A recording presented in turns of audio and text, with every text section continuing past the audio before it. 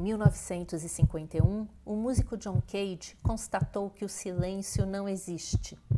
Ele entrou em uma câmera anecoica, que é um cubículo totalmente vedado à entrada de som, e percebeu que ainda ouvia um som agudo do seu próprio sistema nervoso e a batida rítmica grave do seu coração.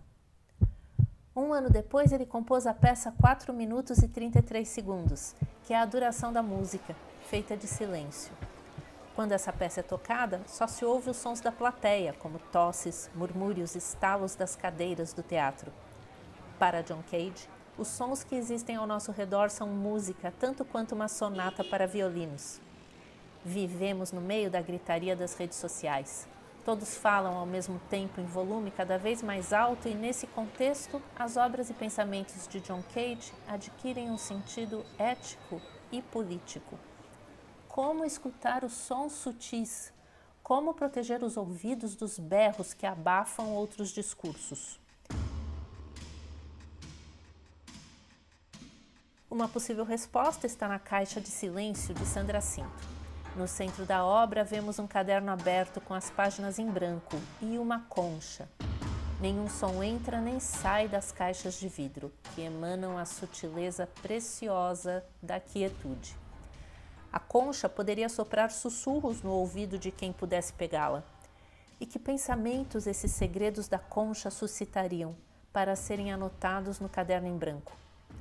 Essa obra sugere a escuta da raridade do silêncio interior em nós mesmos, dos nossos ruídos psíquicos e nos convida a fazer a pausa.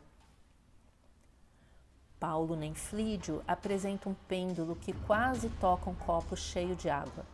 Se o toque se consumar, haverá o barulho do vidro quebrado.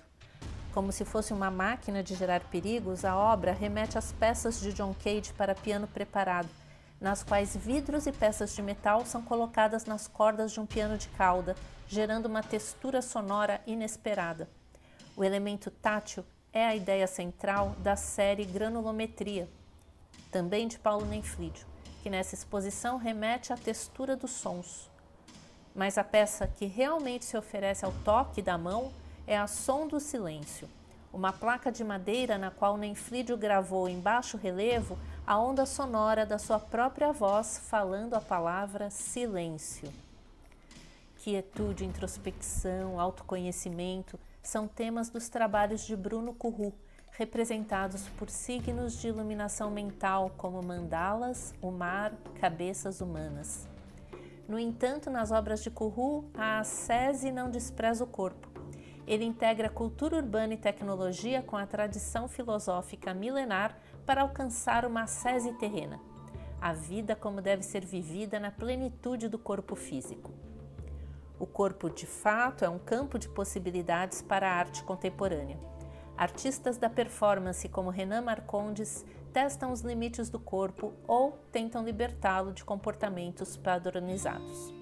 Na obra Timeline, Renan Marcondes instala na parede retratos dos performers mais famosos da história da arte, colocando seus olhares em uma linha reta de 10 metros de comprimento.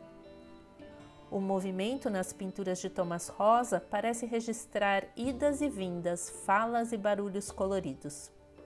Suas pinturas constroem um alfabeto imagético, que se aproxima muito da notação musical, da partitura, convidando o corpo para um concerto e assim nos transformando em instrumentistas de nossas vidas. As obras reunidas na exposição Sons que Escapam salientam a importância da percepção dos sons potentes do silêncio, dos barulhos do mundo, dos ruídos psíquicos que desaguam em ações e transformações.